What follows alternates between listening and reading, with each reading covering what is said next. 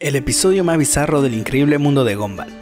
En el episodio La pintura, los padres de Gumball se encuentran en el colegio ya que el director los había citado por un problema con un dibujo de Anaís, que mostraba el desastre que era su familia, sumado al comportamiento de Gumball y Darwin. Luego del reclamo, los hermanos van con el señor pequeño a una terapia para liberar su ira interna. Nicole se quedaría en casa sin hacer absolutamente ninguna tarea del hogar y Richard tendría que buscar trabajo. Ahora, cuando intentan liberar la ira, Darwin libera su cantidad de ira, que genera una pequeña explosión y este ruido molesto y esta escena. Luego procede a tirarles pintura en la cara, cosa que lastimaría a ambos. Después de esto siguen con un baile y el paso 4 para la terapia era romper una madera, que Darwin conseguiría partir con un bate, y con eso finalizarían su entrenamiento. Luego el director va a su casa para ver el progreso que generó su programa de terapia y ve que al final es un desastre, pero se explica que realmente el dibujo tenía otro significado que el que había interpretado. Pero lo más raro del episodio sin dudas es esta escena.